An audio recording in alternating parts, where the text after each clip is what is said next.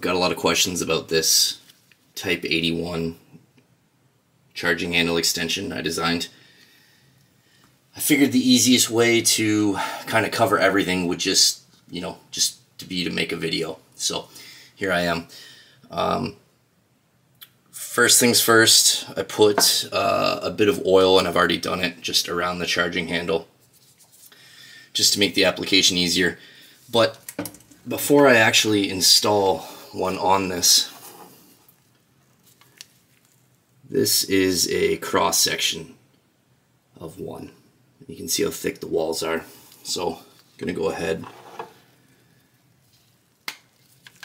Even cut in half, it clicks into place.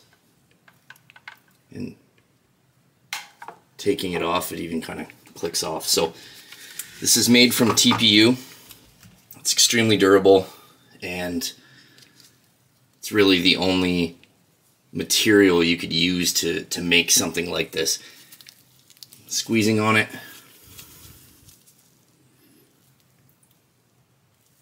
Uh, hard to get it to flex.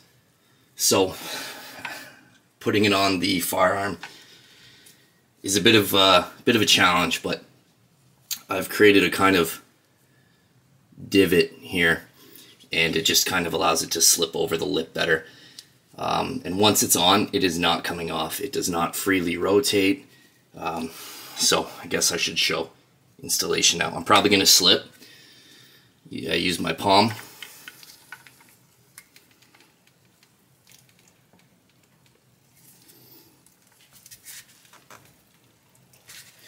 And kind of work around.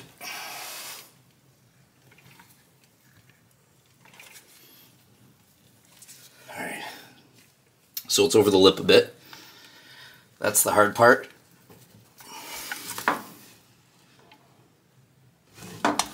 then from there, and you should have heard it snap into place there.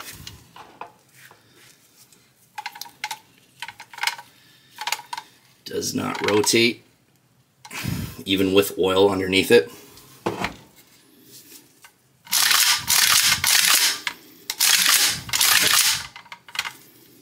About two fingers wide.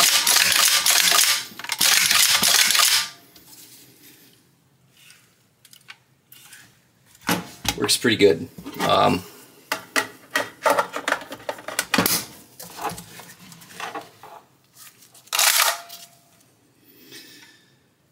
I probably designed 25, 30 different uh, welt designs, and this was the one I settled on.